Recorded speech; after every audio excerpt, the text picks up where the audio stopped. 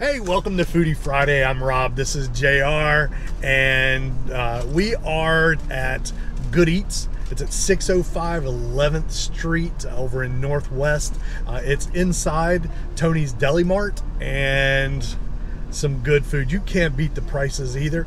I'm going to put a link down below to their Facebook page. They had the menu on there. Uh, today I got the uh, their fully loaded hot dog. Comes with mustard, onion, and chili probably going to be the messiest thing I've ever eaten in my life. JR. Got the bacon cheeseburger. Got everything lettuce, tomato, onion, mayonnaise. Let me, let me bite on into this thing. That's a good hot dog. They got seasoning on their fries. Wonderful. Mm-hmm. And you can't beat the price.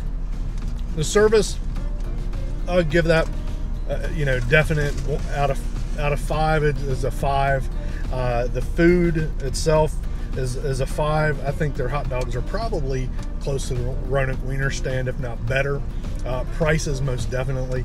We got uh, a hot dog, cheese, his bacon cheeseburger and fries uh, for a little over eight dollars. You can't beat that.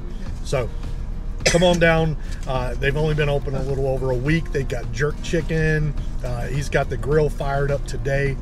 But uh, come on down and, and yeah, it is. Come down and, and check them out. Uh, super great people, super super great food, and oh, yeah. Uh, have a great day. We'll see you next time.